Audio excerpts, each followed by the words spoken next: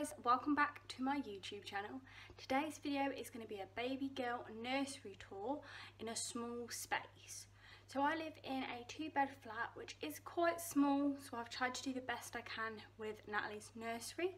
So now I'm going to actually show that to you, tell you where things are from and just show you the layout of it. So let's get on with the video.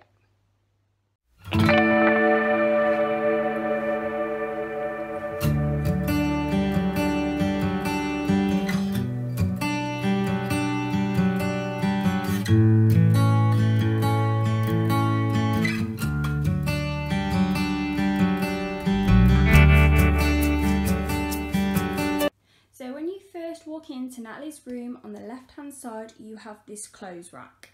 This is mainly where I keep my clothes because I don't have enough space in my room for an actual wardrobe. So we decided to use this clothes rack and have it in Natalie's room. It was from Argos. It was between 30 and 60 pound.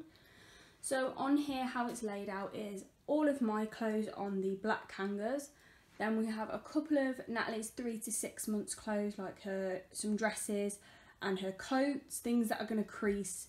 If they obviously if they've gone in a drawer, they're going to crease. So we left them hung up. I have six to nine month clothes and then nine to 12 month clothes at the back there.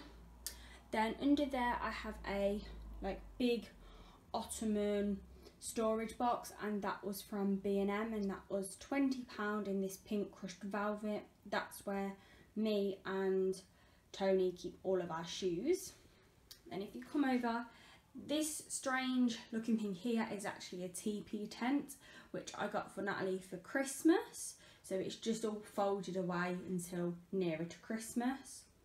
Then you have um, a Christmas present here and then some other Christmas presents I've like just stored under the ottoman.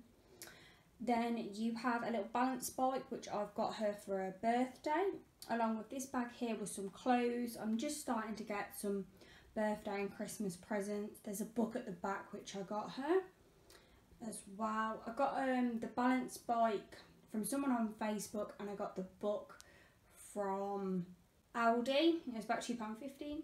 Here I have a nappy cake that I started making. It's for a friend who's due a baby in September. I just need to actually get some ribbon to decorate it properly and then I can drop it off to her. Then we have this really big window um, and then we have these dusky pink curtains which were from Argos and they were about they were £35 or £25. Then coming over here, you have this really pretty like dusky pink rose wallpaper. That was from B&M. I'm not too sure how much it was per roll, so unfortunately I can't tell you that. Then you have Natalie's cot. So I'm not sure where this cot was from or how much it was, purely because I was given it from a, um, I was given it from my previous manager before I went on maternity leave. He gave me this.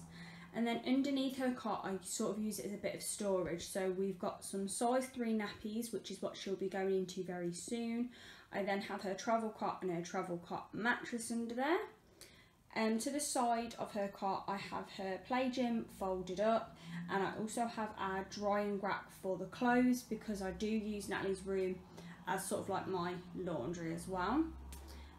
And then if you come in come a bit closer into her cot I have this little cot mobile that I made for her. I got the idea from another YouTuber. It's called a Gobbi mobile for like a Montessori style so if you are interested just look into that on YouTube I then have her little bunny white noise machine uh, she has her little Peter Rabbit toy which she absolutely loves she can't sleep without that so that's always in here and then just following the cot round, I do have our hoover because we are short on storage in our flat as I've said. So I do have that there. I then have her big like six drawer chest of drawers and that was from Ikea. I paid £30 for it because I got it from a friend. So I actually use this as her mini changing area. So I have a changing mat there, and then I have this little basket which has got everything in there. I will be doing a nursery organisation video so stay tuned to that and I'll go a bit more in depth of what's actually in the basket, what's in all of her drawers and things like that. So then I'll just have her sort of like toiletries and wipes. Then I have this little box here which has got all of her headbands in, her two little pairs of shoes and the Gro Egg room thermometer. That was from Argos and I mentioned that in my newborn must-haves video so please go and check that out if you haven't already. Then I have four tubs of the SMA Pro One Milk. This is what Natalie's on at the moment and I like to get four at a time just because it lasts just a month and then there's no risk of me running out so then as soon as I get down to the last tub I go and buy another four to keep us always topped up and then I just have this little lamp and a couple of her cuddly toys I have a little money box at the back there. And then I have this really cute like if I just move the milk a little bit. I just did these really cute handprint and footprints. And then I just have a little photo of me and Natalie as well. And I was actually gifted that um, a friend of mine gave me it so I could actually do that with Natalie when she was um, old enough to sort of do it without wiggling away and keeping her hand in a fist so we did actually manage to get that done when she was about nine or ten weeks old.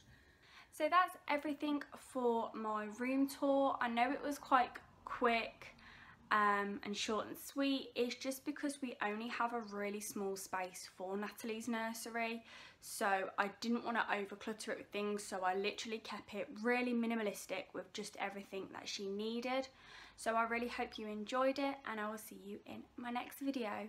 Bye.